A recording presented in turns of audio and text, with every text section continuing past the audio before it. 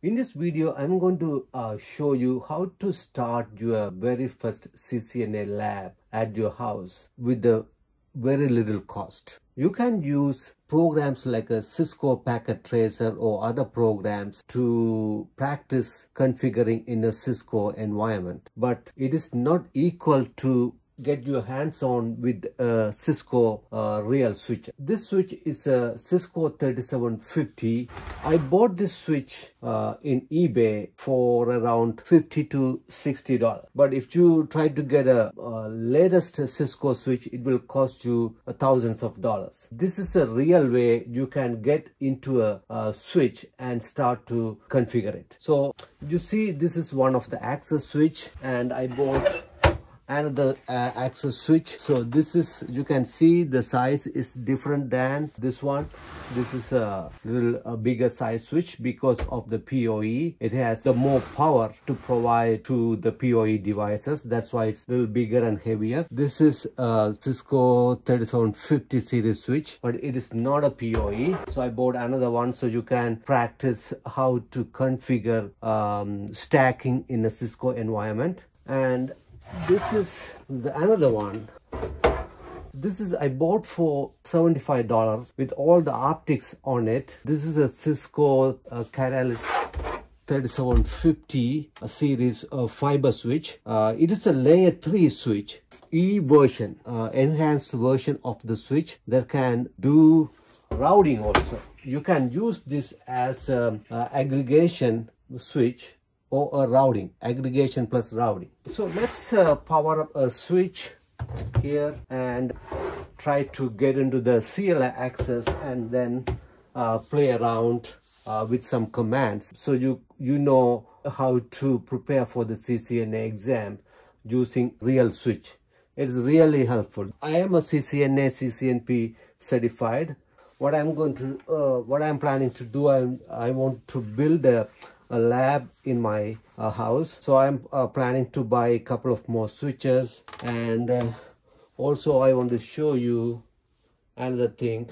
I bought this one. This is a cisco asa 5505 series firewall. I bought this for 25 dollars. Can you believe it? So it's you can this way you can um, really get uh, your hands on a cisco real firewall and start practicing how to configure it. All right? So let's uh, power up uh, this switch and uh, practice some commands. So with regard to cisco switches there is no on off switch.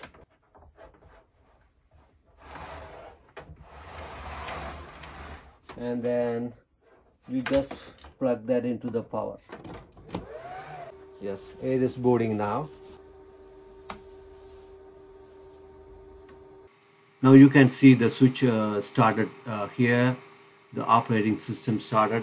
And now asking to whether initialize uh, the configuration through dialog box or through CLI because this is a factory restored switch. That's why it is asking you like it is a brand new switch. I will say no I don't want a dialog box. I want to go to the CLI and type enable. This is the enable mode and then you can type question mark. It will give you all the possible commands that you can go into. And then let's see whether you want to go to configure. Um, configure right? And it will give you all the option within configuration. Let's take the the show and then you can see a ton of show commands you can execute on this switch. It's based on uh, the functions of the switch. It will show you all the possible command come under the command. So you don't have to remember all the commands. You can just use the uh, command help this way uh, to get to the bottom of all the commands that you need. Say you want to let's look at here. I want to see the the environment the fan and all those things in the switch the system components. Let's see inventory. Show you see here I can see inventory or interfaces. Show show inventory. Let's see any other command beneath this okay. And uh, not that many here. So let's try here. Show inventory. So it will show you what are the inventory on the switches. Right? You can see this is a PS switch uh, power uh, PoE switch. And it gives you the serial number. And it gives you the the interfaces that's come under the inventory. In here I have uh, two optics. So it is showing me the optics information. You see like a thousand base SX SFP and these two. So these are the components uh, the hardware components in this switch. Say let's look at show version. This is a very useful command. Uh, so it doesn't have any other sub commands it's just the show version command. So it can show you all the details of this operating system version. You can see here all the operating system what is in the flash and you can see here all the inventory in this the hardware inventory in the switch. Right? So let's go to the uh, show int show interface let's do show int.